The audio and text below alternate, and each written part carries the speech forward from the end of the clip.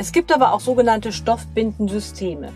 Und da gibt es unterschiedliche Lösungen, wie zum Beispiel die sogenannten Taschenstoffbinden. Das zeige ich dir jetzt mal hier anhand der Stoffbinde von Popolini.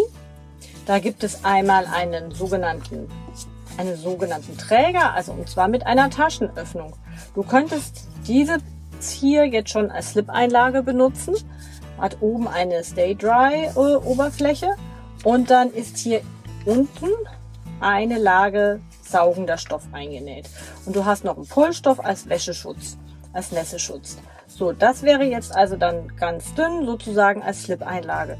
Wenn du jetzt eine ähm, wenn du die jetzt etwas dicker haben möchtest, deine Stoffbinde, dann legst du dir eine der Einlagen einfach in diese Taschenöffnung ein. Und dann ist das dann auch schon dicker. Und wenn dir das noch nicht ausreicht, dann nimmst du die zweite Einlage, die mit dabei ist. Die kannst du jetzt auch hier reinlegen.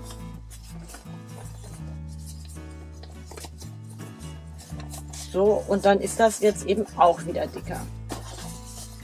Und so kannst du dir dann das individuell zusammenstellen, wie dick du deine Stoffbinde brauchst oder ob dir eine Slip-Einlage ausreicht. Das Ganze gibt es bei Popolini auch dann aus reiner Baumwolle, ohne Nässeschutz.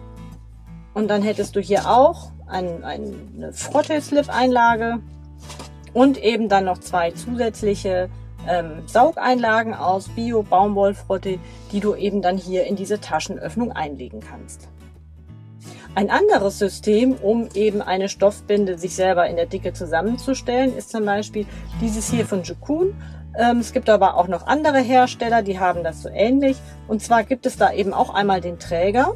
Und in dem Fall ist hier der bunte Außenstoff der kommt zur, ähm, zur Unterwäsche und dazwischen ist noch ein Nässeschutz eingenäht, so dass du also hier auch ganz gut geschützt bist. Und hier oben ist eine dünne Schicht von einem Baumwolljersey. Du könntest das hier jetzt auch wiederum nur als Slip-Einlage nehmen oder dann eben mit Saugeinlagen ergänzen. Und die werden dann einfach nur hier unter die Bänder gelegt.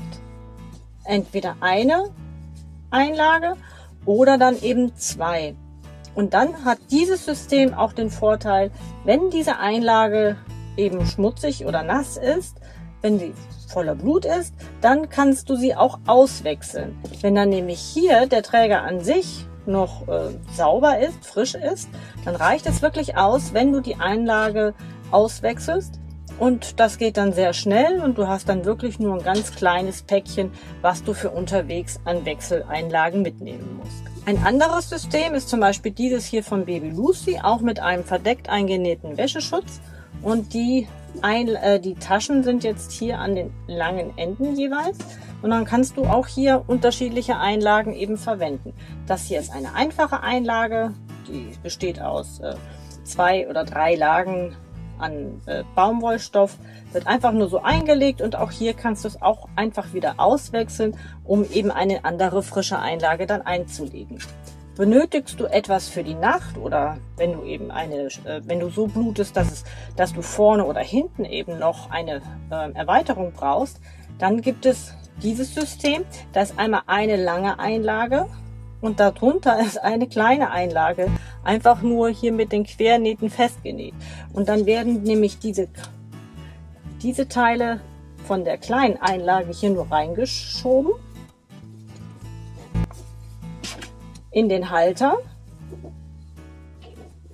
So, und dann hast du eben hier schon deine Stoffbinde, die jetzt nur an bestimmten Teilen hinten oder vorne, je nachdem wie du blutest, wo das dann eben ähm, hier noch nach oben schaut.